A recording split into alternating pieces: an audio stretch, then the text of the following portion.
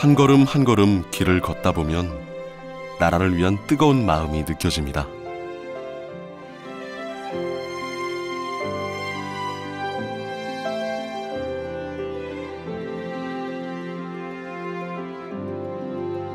성벽을 따라 펼쳐지는 충절의 역사. 부산 동네 읍성을 만나봅니다.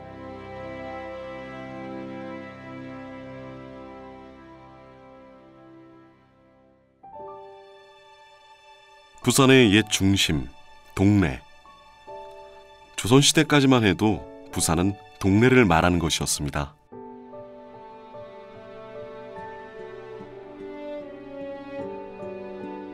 마흔산 능선을 따라 길게 이어진 성곽이 그 증거인데요. 바로 동네 읍성입니다.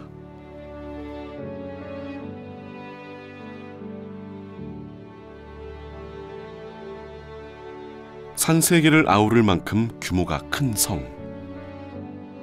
과거엔 성문이 여섯 개 있었지만 대부분 사라지고 북문만이 남았습니다.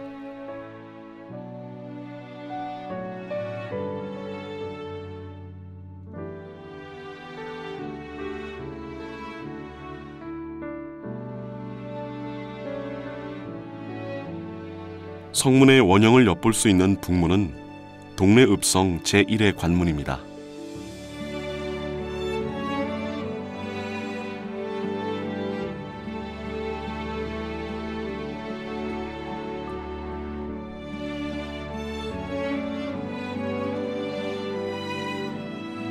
성곽엔 적의 침입을 막기 위한 옹성이 설치되어 있는데요. 90도로 꺾인 모습이 독특합니다.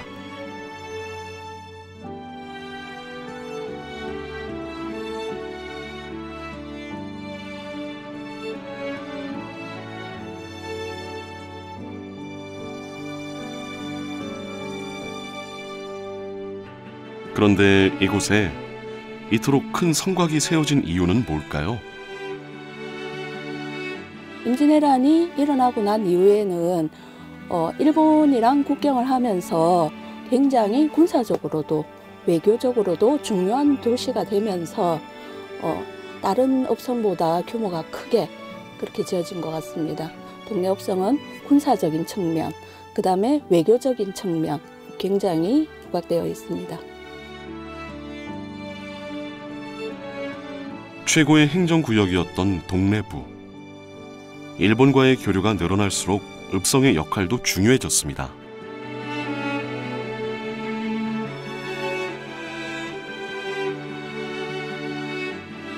성엔 또 다른 특징이 있습니다. 성곽이 산 능선과 평지를 아우르며 이어지고 있다는 점이죠.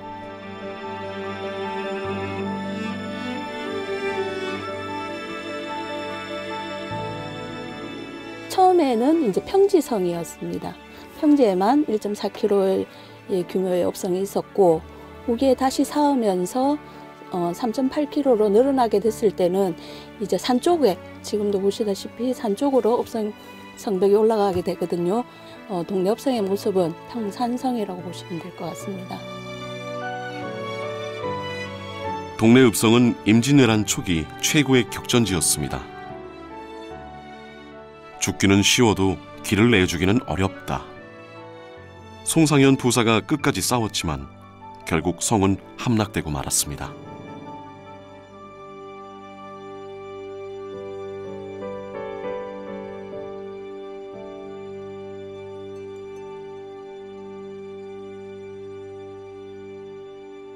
성곽엔 옛 흔적이 남아 있습니다.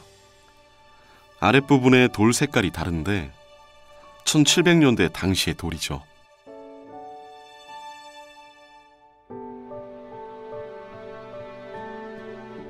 돌은 읍성의 모든 시간을 떠받치는 듯합니다.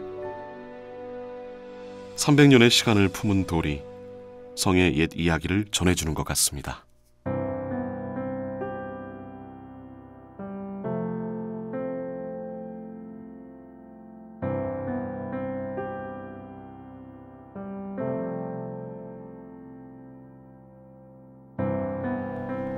동네 읍성엔 적을 관찰하는 전망대가 남아 있습니다.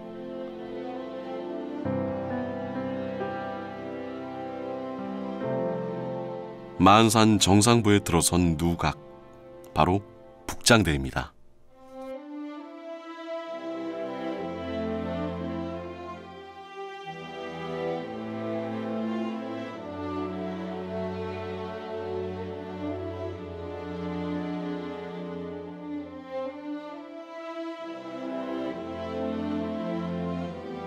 북장대는 동네 읍성에서 가장 높은 곳에 있는 건물입니다. 정면 세칸 측면 두칸의 기와집은 장군의 지휘소였습니다. 일제 강점기에 훼손된 것을 근래에 복원했죠.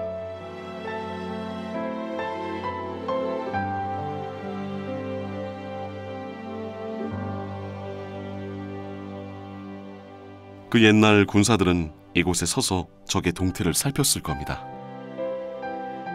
지금도 북장대에 서면 부산의 동서남북이 내다 보입니다.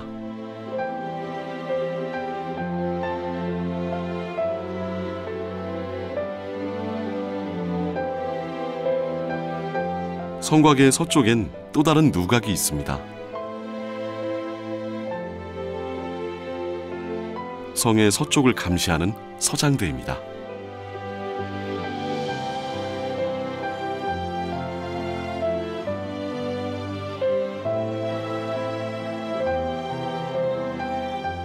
(1730년대에) 만들어진 망루 (15개) 가운데 하나로 추정됩니다.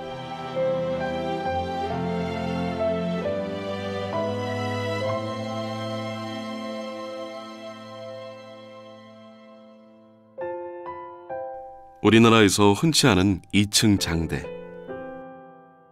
수원 화성의 서장대를 닮아 모습이 아름답다는 평가를 받고 있습니다.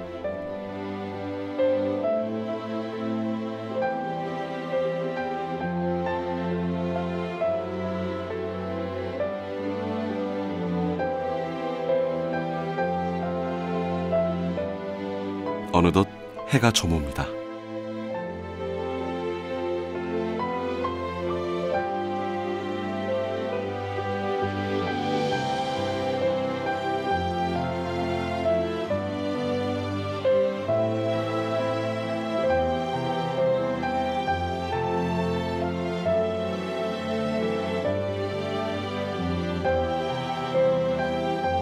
백성을 지키는 요새이자 치열한 전쟁이 펼쳐졌던 성. 동네 읍성에 켜켜이 쌓인 충절의 시간이 빛납니다.